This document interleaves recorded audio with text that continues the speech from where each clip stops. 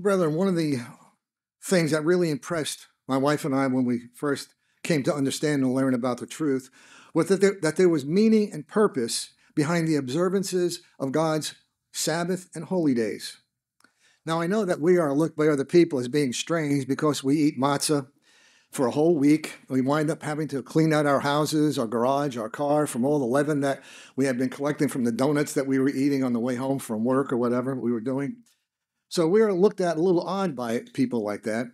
Yet it's perfectly normal in the world today that rabbits can lay colored eggs and that the families would hide them in the, in the backyard so that their kids later on could come out and pick them all up somehow. So that's considered normal, but not our eating matzahs. So actually, God instructs us, brethren, that we ought to know why we do what we do in our life on every aspect. And not just follow the crowd, but that each Sabbath and holy day that we look to God's word to be sure that we understand the meaning behind these days that we are keeping. Now, again, they have meaning and purpose. We know that everything that God does has a purpose and meaning for it. But especially the holy days as we are approaching now, that we're going to be seeing the importance of what these days all mean for us. So today we're going to see more about unleavened bread, what it represents for us, and what we must focus on on that week that we will be observing it, what it represents for us. Let's turn over to Leviticus chapter 23 first. Leviticus chapter 23 is a review of God's command to Israel of what he wanted them to be doing. Leviticus chapter 23. We'll read in verse 20, uh, verse 1, where he says, and the Lord spoke to Moses, saying, Speak unto the children of Israel, and say unto them, Concerning the feasts of the Lord, which you shall proclaim to be holy convocations, these are my feasts. Now, he's given this whole a series here in uh, Leviticus 23 as an outline and overview of the holy days. And he does it in a chronological order. So they're all listed in the way that they are to be observed and kept as well. So here he's saying that they are to uh, he says that these holy holy convocations and even these are my feasts. Now he says these feast days are his. They're not man's feast days. They're not our feast days, or they're not the Jews' feast days. He says these are my feast days. So how much more important would they be than however we look at the things we've seen at in the past, whether it's rabbits or something else that they're doing? So we understand then he's he's showing the emphasis of what's important that they are his feast. Verse 3, he says, Six days shall work be done, but the seventh day is a Sabbath of rest, a holy convocation. You shall do no work therein. It is the Sabbath of the Lord in all your dwellings. Verse 4 These are the feasts of the Lord, even holy convocations, which you shall proclaim in their seasons. So again, now he's emphasizing that these are holy convocations. Verse 5 and the 14th day of the first month at even is the Lord's Passover. And on the 15th day of the same month is the feast of unleavened bread unto the Lord. Seven days you must eat unleavened bread. So he's letting us know here that these holy days are holy days of con- uh, being together. We are to gather together, holy convocations. And we're doing that by we pray together, we sing God's praises together, we fellowship together, we spend time talking about God's word. We're being here to listen to messages that God has prepared for us to know something about. These are holy convocations, how important they are. And he says, seven days that you must eat unleavened bread during this holy during this time. Let's turn over to Exodus chapter 12. Exodus chapter 12, the first 14 verses, which we won't be reading that, but the first 14 verses are the Passover instruction that God has given to Israel at that time. First of all, he was, he was letting them know they were to kill the lamb. They were to put blood on the doorposts from the lamb that they killed. They were to eat a meal that, that night, and, that, uh, and then God would pass over the land at that time in Egypt, and the firstborn of the people would be killed. Exodus chapter 12, let's read in verse 15 where he gave them the overall outline of what's going on. We see here in verse 15 Seven days you shall eat unleavened bread. On the first day you shall remove leaven from your houses. For whoever eats leavened bread from the first day to the seventh day, that person shall be cut off from Israel. Now, again, he's showing here very serious instruction that he's giving that they would be cut off. It's, a, it's to uh, remember what the meaning is of the day, that it's important, that if they don't do it, they're going to be cut off, being removed from Israel. Now, we don't just look at that as the, the land of Israel, because we, we, brethren, are spiritual Israel. And if we're not obeying what God says on these holy days, then we will be cut off from Israel, spiritual Israel, from God's family. So he, again, he's told, told them to eat unleavened bread. Now, 12 times in different places in the Old Testament, that term is used to eat unleavened bread seven days. Interesting. 12 times it's mentioned.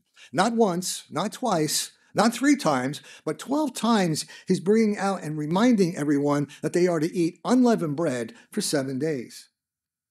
Now, humanly, we can look back at this and say, well, come on, that's cardboard bread. A matzah? Really? You know, why is that a big deal? So why not just skip the bread since it doesn't look to be so important in what it is?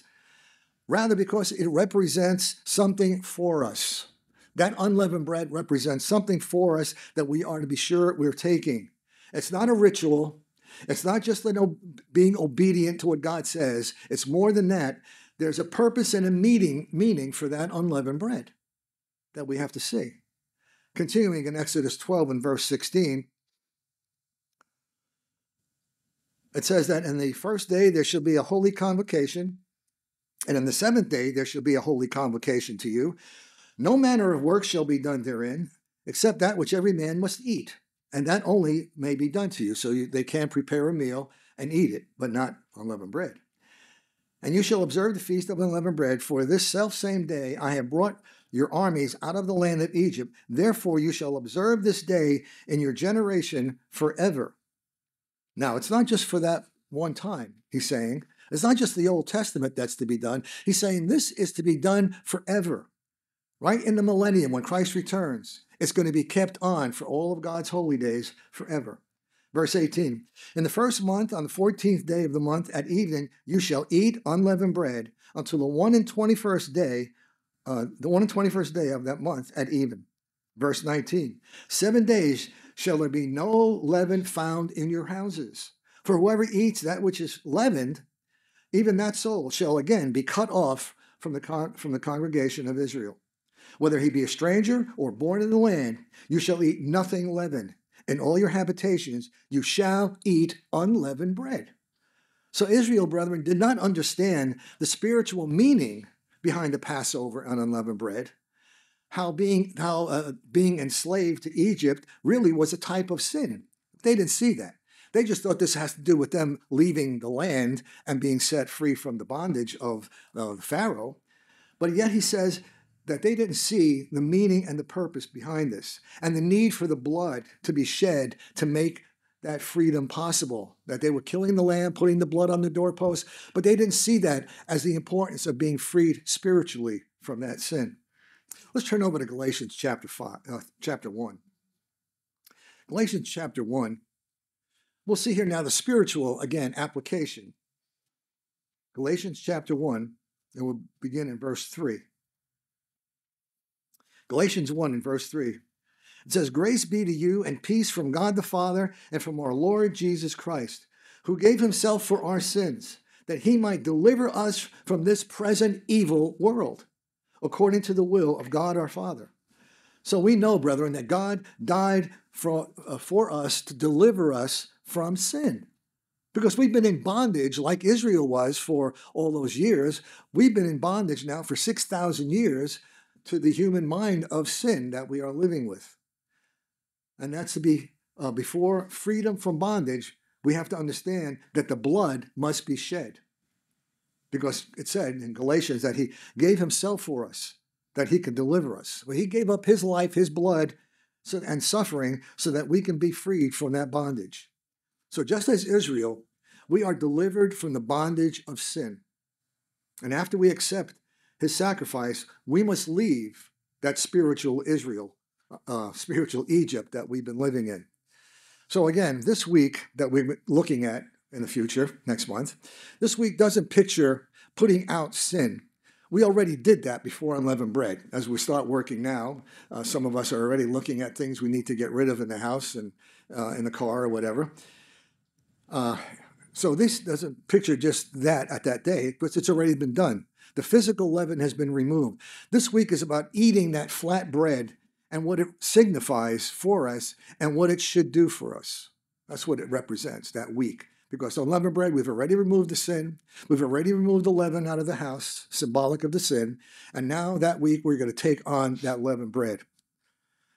Now, again, we are to eat unleavened bread and to put that quality of humility and righteousness, which are the characteristics of Christ. When we are eating that unleavened bread, we're putting on his character in us.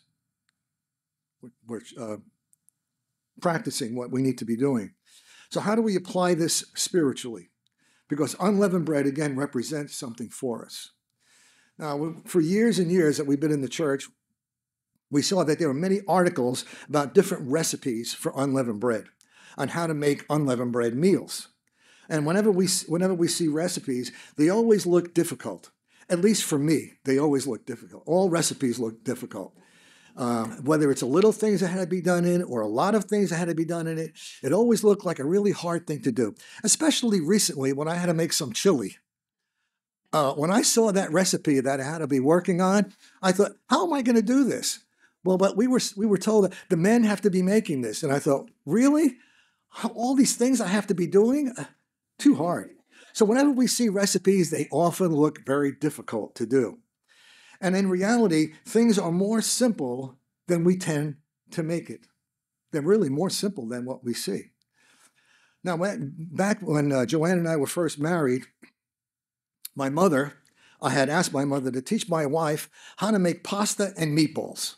That was, you know, we were very young when we got married. She wasn't well practiced yet on cooking, but my mom had a good background. So I asked her, Can you teach her how to make pasta and meatballs? And she did. And they were perfect.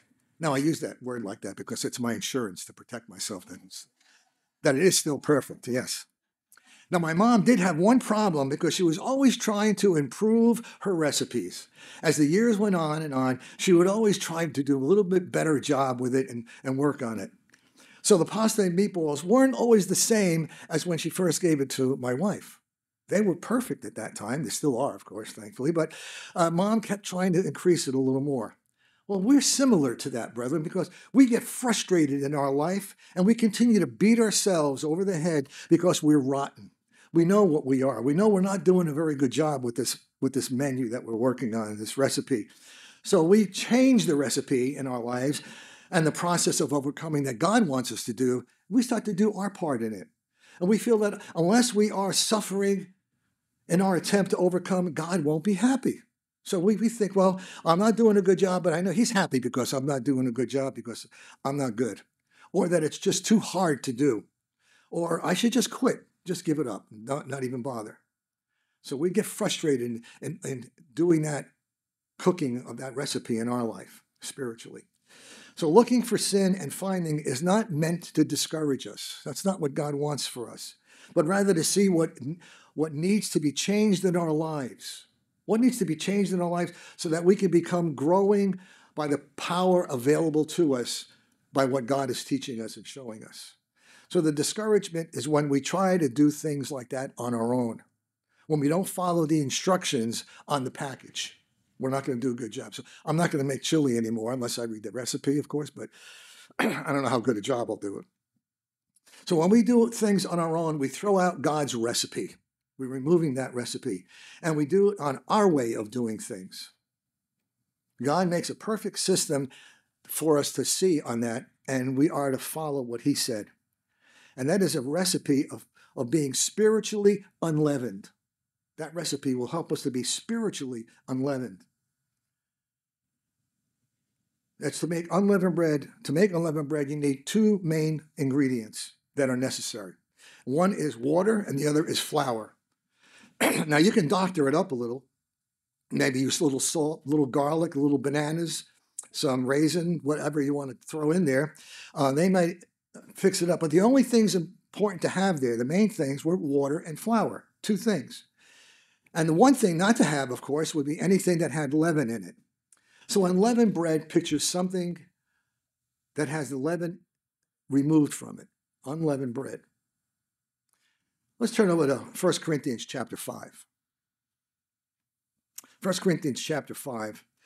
We see here that Paul is talking to the Corinthians, and they had a problem with them, with a with a man that was living with his stepmother. And the brethren were very complacent to the seriousness of the man's sins. They weren't doing anything to make him stop what he was doing or whatever.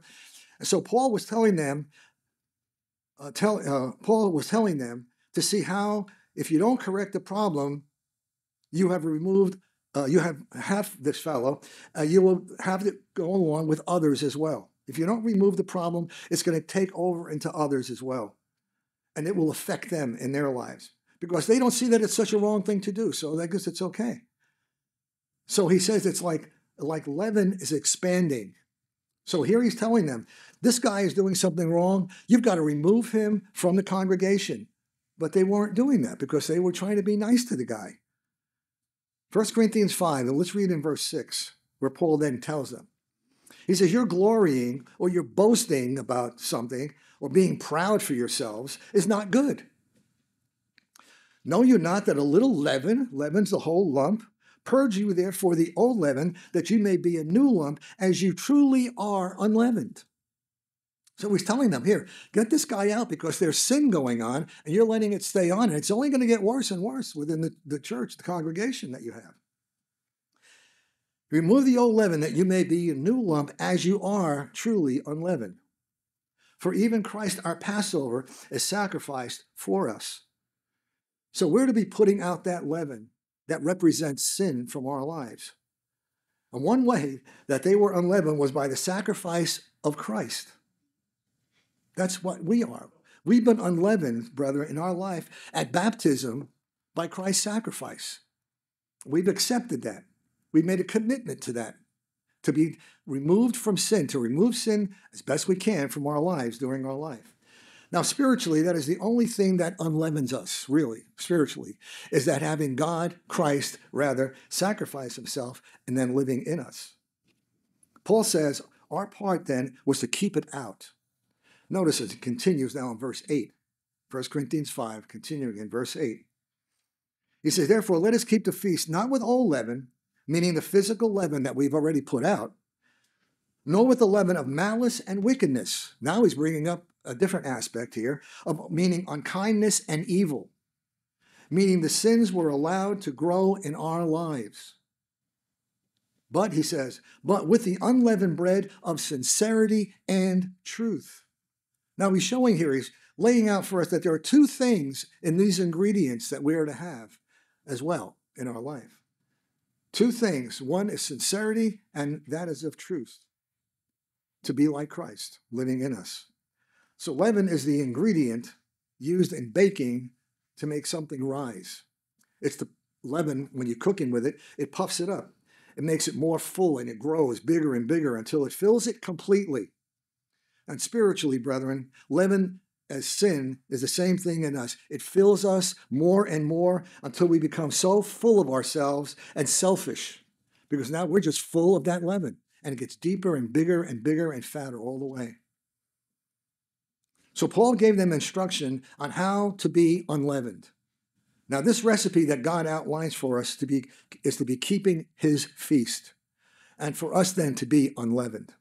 So the two main ingredients for, for us to use are sincerity and truth. Let's look first at sincerity. The meaning of sincerity is freedom from hypocrisy, disguise, or false pretense. It meaning being free of anything that is misleading in our life, avoiding things that are going to take us off track. It means clearness, clearness and purity, meaning uh, literally brightness, purification, and purifying. It also means being guileless or innocent and genuine in heart and free from deceit. Also, earnestness is another uh, definition of the word. It means seriousness, seriousness and zeal in intention and effort. Being earnest to do, do something that God wants us to do, and that is to remove the leaven from us. And it means purity of intent, being without blemish. So, this sincerity is important for us to have if we're to have this leaven removed from us. Again, being genuine to what we, des- what we strive for this week and being genuine to do that. Turn over to Romans chapter 12. Romans chapter 12, and in verse 1, we'll begin there.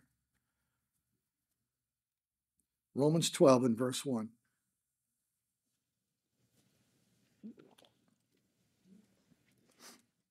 Romans 12, verse 1, Paul tells us here, do not be conformed to this world, but be transformed by the renewing of your mind, that you may prove what is what is that good and acceptable and perfect will of God. See, we've got to remove, renew our mind because it's been corrupted for all our lives. That we've had our own thinking to be done and our own way of making the recipe and what our own way of overcoming things and doing things. He says we're to renew our mind to change what has been. He's making it clear what our priority must be. And we're making a conscious effort with God's help, brethren, when we do that, when we start to make the change in our life. A time of refreshing our minds as when we were baptized, to remind us of what that commitment was that we made at that time. Let's turn over to Luke chapter 12. Luke chapter 12. Let's see how Christ defines leaven especially the time we're living in, he's going to be expanding on, expounding on what, what this is all about. Luke, Luke chapter 12, beginning in verse 1. Luke 12, verse 1, Paul says here, um, Jesus says here, Meanwhile, when a crowd or many thousands have gathered uh, so that they were trampling one another, Jesus began to speak first to his disciples. And he said, Be on your guard against the leaven of the Pharisees, which is hypocrisy. So Jesus now is explaining or expanding on the fact that what leaven is, it's a sin. And one of them is the leaven of the Pharisees is hypocrisy. So one of the things that leaven represents, again, is hypocrisy, or the opposite of sincerity is hypocrisy. The opposite of sincerity. Continuing in verse 2, he says, There is nothing concealed with which will not be disclosed, or hidden that will not be made known, so a hypocrite, they can be saying things and hiding it, but it's going to come out. They'll know what it was said and done. What you have said in the dark will be heard in the daylight, and what you have whispered in the ear in the inner rooms will be proclaimed from the roofs. They're going to be coming out loud and clear what the real mistakes were said were going to be, were going to be coming out. So the hypocrite will try to cover up, but it will become known. It will become out to be known. A hypocrite will say one thing and does another. Oh, they say all the good things, but they don't do it. Now, sincera, S I N E C E R A, is the root from sincerity from the Latin, the Latin root of that word, sincerity, and it means without wax or contaminated, not being contaminated. Now, when the Romans made pots, they often sealed the base of the pot with wax claiming that nothing contaminates, uh, but in time the wax melted or wore away, rendering the pots useless for liquids. So here the, the Romans at that time were, were doing something like that through history. They'd be using um, uh, wax to put in the container when they were cooking it, when they were putting the pots together. But in time, the wax melted, wore away, and rendered, rendered the pots useless. So hypocrites say their behavior is not contaminated, but rather it's genuine. Just like the Romans said about the pots. What we're doing is fine. They're genuine, but later on they became polluted and corrupted and they couldn't they couldn't get over what had happened. So hypocrisy is play acting, looking outward to what is good. Christ's condemnation for what he said there is genuine, having an outward show with no substance of heart. It tells you what you want to hear. It tells you what you want to hear hypocrisy. Turn over to Malachi chapter 2. Malachi chapter 2. And in verse 1, we see here now, this is going to the priests just before Christ was going to come back. These were information that God was given to the priests that they were to know about. And uh, it says in Malachi 1, uh, Malachi 2, verse 1, he says, And now, O priests, this commandment is for you if you will not hear, and if you will not take it to heart, meaning you don't see the seriousness or the importance to give glory to my name, says the Lord of hosts. I will send a curse upon you, and I will curse your blessings. Yes, I have cursed them already because you do not take it to heart. So he's showing here how when God looks at this attitude of not seeing the importance of something, that we're not applying it, he says, You're going to be cursed. Just like we're going to be cut off from spiritual Israel, you're going to be cursed. Now, again, this is not just for the priests here, because later, when the Pharisees came along, when Christ was here, was here, how did they take what was told to the priests to heart? How did they see that? Because those who were not totally committed to obeying God's instructions, they were going to be suffering with the end results, as would we if we're not going to obey God. So, taking the unleavened bread of sincerity and truth is giving ourselves totally and taking it to heart taking it to heart, not holding back some little part of our life to make ourselves happy. It's taking to heart by renewing the mind. That's how we take it to heart. Realizing, wait a minute, I'm seeing this different. I don't see things uh, about Christmas and, and Easter when I was a little boy being wrong. Now I see how wrong they are. God has opened my eyes to understand things. Notice what Jesus says in Matthew chapter 5 and verse 8. You don't have to turn there. But Jesus places emphasis, emphasis on purity of heart. Matthew 5 and verse 8, Jesus says, Blessed are the pure or the sincere in heart, for they shall see God. So he's showing here how blessed it will be to do that. Let's go back to Psalm 24. I'll turn back there. Psalm 24, well, David tells us the same thing as Christ was speaking about in Psalm 24. Psalm 24 in verse 3 We'll see here how, again, the importance and the priority of being sincere in heart to get rid of the leaven from our lives.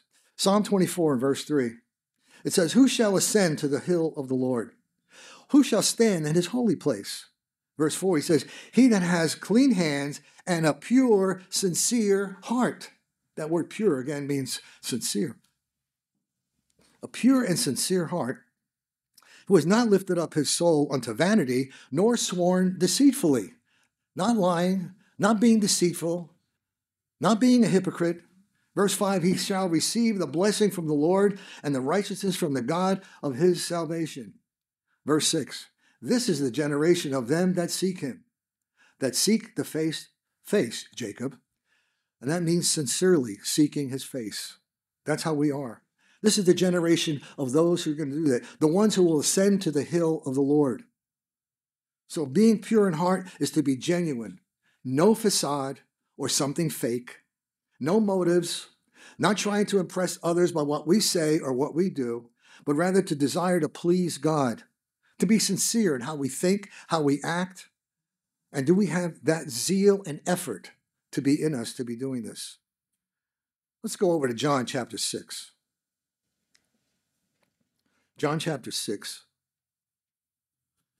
and verse 53, reading from the NIV version. John 6 and verse 53. Jesus said to them, I tell you the truth. Unless you eat the flesh of the Son of Man and drink his blood, you have no life in you. For whoever eats my flesh and drinks my blood has eternal life, and I will raise him up at the last day. For my flesh is real food, and my blood is real drink. And whoever eats my flesh and drinks my blood remains in me, and I in him. So we see here that God is providing for us the gift and the blessing from heaven to have sins removed, to have God living in us, and to have eternal life. What an incredible thing it was to come and understand what God's holy days meaning and purpose has been. So Christ lived in a way that was totally contrary to our human way of doing things. Because human nature wants to lash out and strike back and show revenge, and that's not what Jesus did. Because Jesus was dedicated to doing the will of the Father. He wasn't upset that we wouldn't, wouldn't be doing these things. He was going to bless us in our life in spite of these things. Turn to Titus chapter 2. Titus chapter 2 here. Paul is talking to the ministry at the time. Titus chapter 2 and verse 7. Paul says here, in all things, or with respect all things, showing yourself a pattern of good works, in doctrine, showing uncorruptness, integrity, and sincerity. So he's telling them how to be preaching to people, uh, having a pattern of good works in doctrine and showing incorruption in what we're talking about and how we're living. And you yourself must be an example to them by doing good works of every kind. Let everything you do reflect the integrity and seriousness or the sincerity of your teachings. In other words, don't be like the Pharisees. Be teaching the truth of God in a right way. Verse 8, he says, Sound speech that cannot be condemned, that he, uh, that he that is of the, of the contrary part may be ashamed, having no evil thing to say of you. So our life, brethren, must reflect Jesus Christ in us. And that sincerity must be incorruptibility and genuine in how we're doing things. Ephesians chapter 6. Ephesians chapter 6 and verse 5. We see here more about Paul explaining the importance of the heart that's in us. Ephesians 6, verse 5, he says, Servants, be obedient to them that are your masters according to the flesh, with fear and trembling, and singleness of your heart, as unto Christ. In other words, the word here means sincerity without self seeking. Be yielding to your, to your masters that you have in your life, your work or your business or whatever. It is the opposite of duplicity or deceitfulness in thought or action. Verse 6, it goes on, it says, not with eye service as men pleasers, but as the servants of Christ doing the will of God from the heart, with good will doing service as to the Lord and not to men. So it's not just we're doing it to men, we're doing it to God. We're pleasing God in everything we're doing. We're showing other people the good things in our life because we're reflecting Christ's character and nature.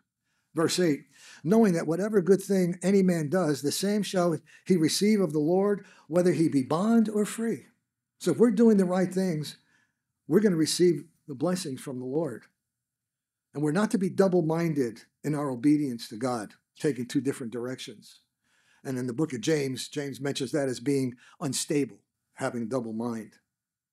So doing God's will means that we must constantly be drinking in of God's word that causes us to understand what his will is. Galatians chapter 2 and verse 20 Galatians 2 and verse 20. Again, Paul says here, I have been crucified with Christ. It is no longer I who live, but Christ lives in me. And the life that I now live in the flesh, I live by faith in the Son of God who loved me and gave himself for me. How are we living, brethren, to determine if Christ is living in us? Are we able to see these things? Are we as as, as confident, are we as sure as Paul is saying here about himself that Christ is living in us? If we are eating the unleavened bread of sincerity and truth and making it useful in our lives, it will be that way. So, sincerity is doing it from the heart. It's not a ritual. It's the number one thing in God uh, for God to, for us to be doing in our life. Now, mere obedience is not enough, brethren. It must be number one in our life. It's not just obedience, it's got to be the most important thing that we're doing.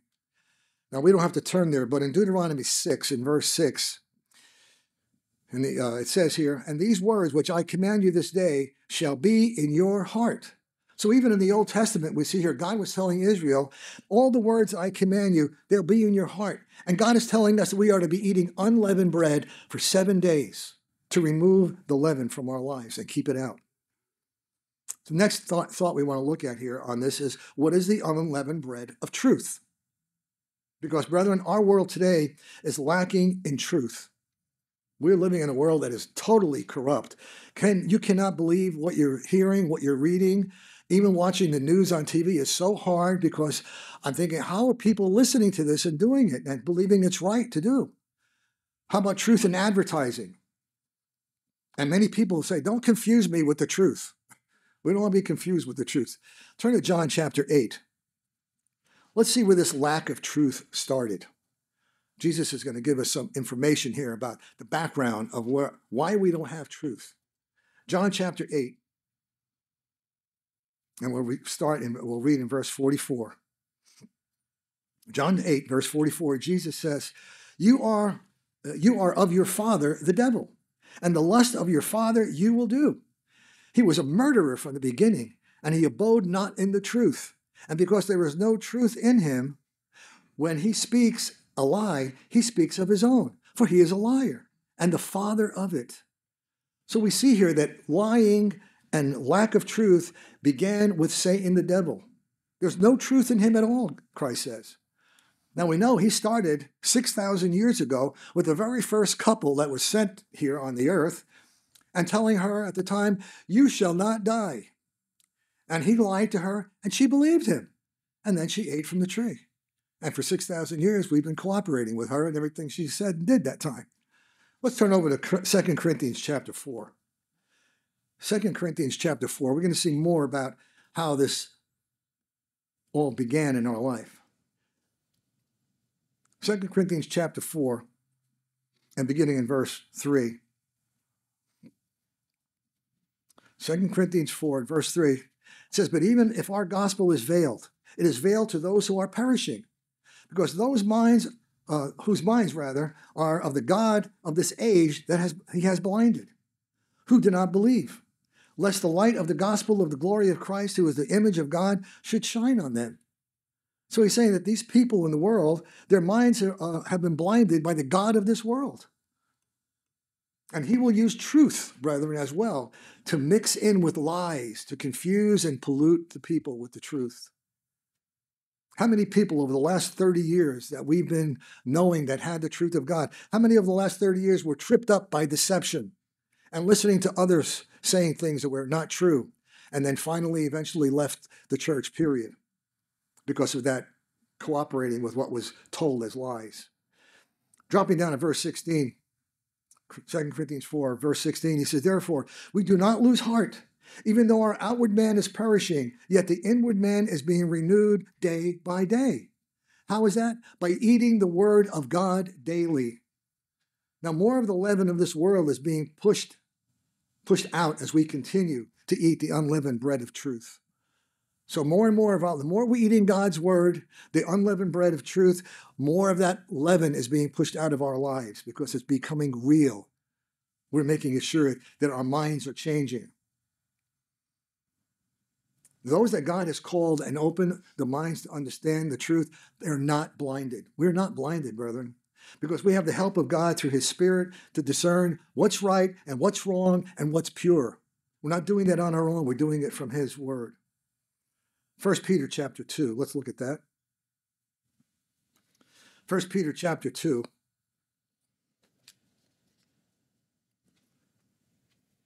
We see here an example of what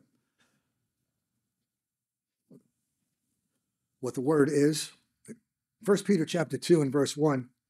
Peter says here, Wherefore, laying aside all malice and guile and hypocrisies and enviness and, and all evil speaking, so Paul here, uh, Peter here is telling us all the things we're removing, hypocrisy, everything that is not sincere in our life. Remove all those things that are leaven. Verse 2 And as newborn babies desire the sincere milk of the word. We'll be like a little child. He says that you may grow thereby. So, like a little baby sees the importance of milk, they get so excited when mom comes and start feeding them with milk because it's important to them. They're getting this nourishment from that word, from that milk, rather. But here, Peter's using that as an example. As a newborn baby, we're to desire the milk of the word, God's word. In Hebrews chapter 4 and verse 12, we don't read that. Well, we are, to, we are uh, to be obedient children and to cry out for his nourishment. Now, milk, brethren, which is without guile, that's the kind of milk we're looking at the pure milk of God's word, with no other purpose but to nourish and benefit ourselves by eating that, that very healthy word. Now, years ago, when I was in business, I had a customer that used to make ice cream. And he had a process of making the ice cream by cleaning containers that he had that, that was very strict that he had to do this and only certain types of containers could be used that he was doing this with. And the concern for the bacteria that would be contaminating the ice cream was always present. So he had to make sure he really cleaned those containers very well. Otherwise, the milk products would be contaminated or polluted. Now, I've done some research. I looked up that milk can be polluted. You can pollute milk if you leave it out a little too warm, too long, make the coffee in the morning, put your milk in it, and you're still drinking it at nine o'clock at night. You might see little things floating on the top of it, you know. So it may not last that long. So our having a wrong focus will pollute what we are trying to accomplish. We're not to focus on man or physical distractions. We're to be careful what we're doing with that. We are to use God's food in order to grow spiritually healthy. That, that same milk of the word. Now, again, each year more things are designed to take our focus off of the Passover, and it doesn't stop on the 14th. You know, as we start getting closer to Passover, we start seeing all things going on in our life, distractions with family, friends, work, whatever, all things that are kind of get our minds off track. And it doesn't stop at the 14th. It's going to continue every day. Let's turn over to 1 Corinthians chapter 3.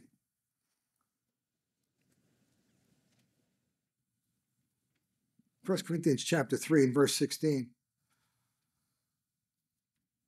Paul says here, Do you not know that you are the temple of God, and that the Spirit of God dwells in you? If anyone defiles the temple of God, God will destroy him. For the temple of God is holy, which temple you are. Let no one deceive himself. If anyone among you seems to be wise in his age, let him become a fool that he may become wise. Learn the lessons. That word defile the meaning of that is to, to put to waste, or to shrivel, or to wither, to spoil by any process, or to ruin, to deprave, or to corrupt. Ultimately, it's to destroy it. Just as a little bacteria can spoil milk products, brethren, that truth that we have can be polluted by things that we are allowing in our heart and mind to be listened to. We have to remember that he says here, we are like, we are the temple of God. We are God's temple. We are that container. That's we are the spiritual container in that sense, as the, the guy making the ice cream. We are that container that Christ is in us. Are we keeping it clean? Are we doing our part to maintain that truth? Let's turn to John chapter 18. John chapter 18.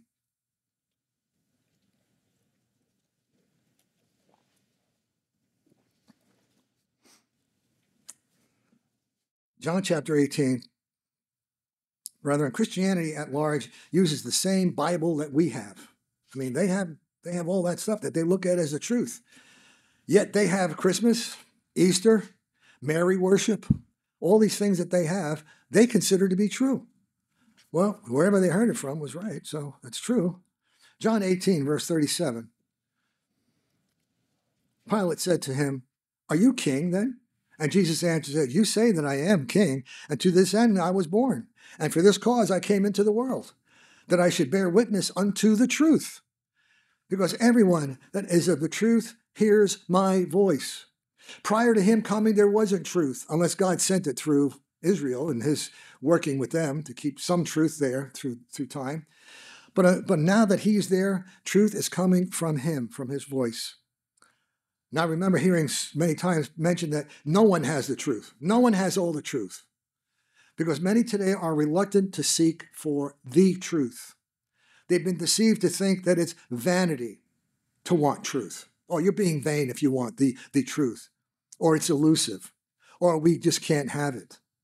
No, brethren. We have, however, as much truth that God wants us to have right now in our life. Continuing in verse 38, Pilate said unto him, Well, what is truth? And he said, uh, he said this, and he went out again unto the Jews, and he said unto them, I don't find any fault with him. You know, I don't see anything wrong. I, I can't convict him. Why was he being sarcastic or sincere when he said, What is truth? We would have the same response from people today saying, What is truth? Because they don't know what truth is. Unless God has opened the minds to understand, they don't know it. We've been blessed with that, brethren, to have that mind open to that truth. It's what is considered truth today by the world the Big Bang Theory, where today people look at it, they believe the Big Bang Theory. So right now we're only descendants of monkeys and frogs. Really? No. Our knowledge is without absolutes is being is being invalid. That's our human knowledge, being without absolutes. The world governed by Satan and truth is based in theories. That's what they have. That's their truth. It's a theory. And conclusions are based on probability. You never have an absolute truth, and you never have proved the truth if you look into things from the world. Go over to 2 Peter chapter 2.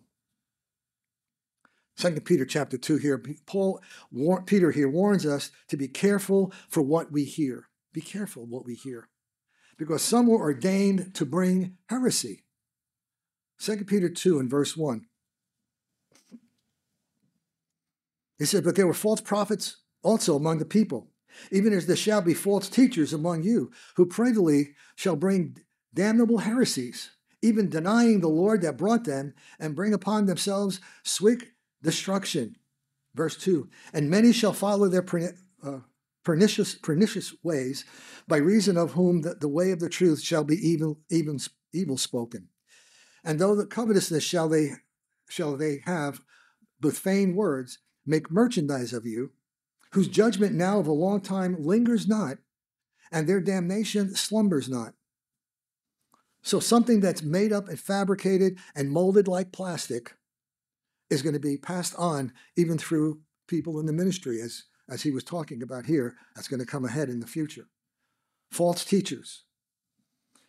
Turn over to Acts chapter 17. Again, when we're studying God's word, we know the truth. Now, I remember being asked years ago by someone in the church, I asked him rather, what he felt about the changes in doctrines that were coming back in those days. And he said, Oh, he says, that's the minister's job. I, I don't have to worry about that. that yeah, Christmas, Sunday? Yeah, no, no. That's the minister's job to check that out. Acts chapter 17, verse 11. Talking here about the Bereans, Acts 17, verse 11 says, These were more noble than those in Thessalonica in that they received the word with all readiness of mind and searched the scriptures daily whether those things were so. They searched the scriptures daily. What's the scriptures? The word of God. We're to be eating unleavened bread seven days, taking in that word of God. So they search the scriptures daily in their lives, not just once in a while, to make sure that what they were hearing was true. So the truth should be positive results in our life and it should result in the fruits of the Spirit. Again, the world is without absolutes. Some people are satisfied with a little truth, enough so that it won't interfere in their lifestyle. And remember, Paul said, a little leaven leavens the whole lump. Eventually, it's going to get worse and worse. So we can't allow any of it to be negative to come in and let it stay there. So then, how do we view the truth? Turn to John chapter 17. How do we view the truth?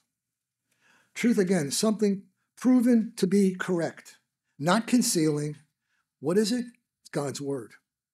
Notice in Jesus' prayer in John 17, verse 17. Jesus here praying to the Father before he was going to be taken away. he said, Make them holy by your truth. Teach them your word, which is truth. God was Christ was praying here that he that his word will be passed on to all of us that he is calling with his truth. Again, man's way is philosophy and vanity and ideas. God's word cleans, it purifies the heart and mind, it produces a healthy life and helps people to notice things that are going on. Turn over to Ephesians chapter 5. Ephesians chapter 5. So we must always check the word, uh, check what the world says compared to what God says. We have to make sure it's the absolute truth. And if it doesn't fit, it must be rejected from our life. Ephesians chapter 5 and verse 25.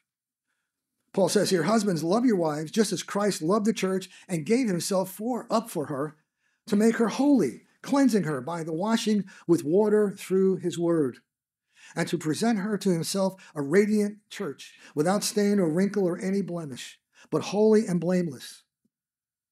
So he says, he's telling us here, Paul, love your wives just the way Christ loved the church. Look what he did for her. He was pure and sincere. We were washed, brethren, at baptism by his word, made clear of that. We had the truth of God now available. No deception, no dispute. So then, how do we use the truth? Are we letting God's word clean us up? Do we use the truth to internalize? Or do we use the, so- the word as a sword in our hands to cut people off, to look down on others? Because we know so much and you know you don't know anything. You're you don't know the word of god. I know the word. God doesn't want us to be self-righteous like that. We don't use the we use the word to uh, for ourselves for our our use in our life not to be condemning other people. Turn to matthew chapter 7 again the truth is clear and concrete this is not a better way, but the only way. Matthew 7, verse 24. Jesus says here, therefore, everyone who hears these words of mine and puts them into practice is like a wise man who built his house upon a rock. The rain came down, the streams rose, the winds blew and beat the, that house, yet it did not fall because it had been founded on a rock. Verse 26 But everyone who hears these words of mine and does not put them into practice is like a foolish man who built his house on the sand. And the rains came down, the streams rose, the winds blew they, uh, and beat against the house, and it fell with great with a great crash. Verse 28 When Jesus finished saying these things, the crowd were amazed at his teaching because he taught as one who had authority and not as their teachers of the law. He wasn't teaching like the hypocrites were doing, the, the uh, Pharisees were doing. He was teaching them the truth. He said, We are to put the words of God into practice in our life that will be built on his foundation. Who's the foundation? Christ is our rock and our foundation. He is the word that we are to be listening to and studying and following. He is showing here how important that word is. Our houses, our lives must be built on the rock of God's word. And those who follow in it will have eternal life, brethren. Turn over to James chapter 1. James chapter 1. God's Spirit in us directs us to use words properly. James 1 in verse 22. James 1, verse 22 says, But be you doers of the word and not hearers only, deceiving your own selves. For if any be a hearer of the word and not a doer, he is like any man belonging, beholding his natural face in a glass. For behold himself and goes this way, and straightway forgets what manner of man he was. But whoever looks into the perfect law of liberty and continues therein, he being not a forgetful hearer, but a doer of the work, this man shall be blessed in his deed. Verse 26. And if any man among you seem to be religious and bridleth not his tongue, but deceives his own heart, this man's religion is vain. So if anyone seems to be religious, but not following God's word, and not taking care of their tongue, and being careful of what they're hearing and then saying, he says their, their religion is vain. We are to use God's word to make the changes in our life. Make the changes in our life. Turn over to Second Thessalonians chapter 2. Again, how do we view the truth? Second Thessalonians chapter 2. Because we're going to know that one is soon coming that will deceive many and distort the word of God, as we read a little bit earlier. Second Thessalonians 2, verse 10, it says, With all deceival, deceivableness of unrighteousness in them that perish, because they receive not the love of the truth or the word of God, that they might be saved. Rather, and for this cause, God shall send among them delusion, that they should believe a lie, that they might all be damned who believed not the truth, but had pleasure in unrighteousness or leaven. So, in that time, brethren, as we come to close to the end, all the deceivableness and unrighteousness is going to continue to grow. And we have to be careful that we don't give into it. How do we view the truth? Now, let's remember also that it doesn't always come out perfectly the same way twice whenever we make a recipe. I, am not looking forward to doing the uh, cooking again for the men's club in the future in any way. I don't know if I could follow that way, but it, it, doesn't always come out perfectly. I might do a good job next time or not. I don't know. But it doesn't always come out perfectly or the same way twice. It's not like somebody makes pasta and meatballs. Unleavened bread of sincerity and truth is part of the process of conversion. It takes time. It doesn't happen immediately, brethren. This overcoming, this growing that we're doing, this sincerity and truth that we're taking on this recipe has got to be an ongoing thing in our life. We're not just doing it for the seven days in a few weeks, because not everything we do is going to be perfect. Turn over to Psalms 37. Psalm 37. Again, we have to realize, brethren, that we are eating seven days, we are eating this unleavened bread.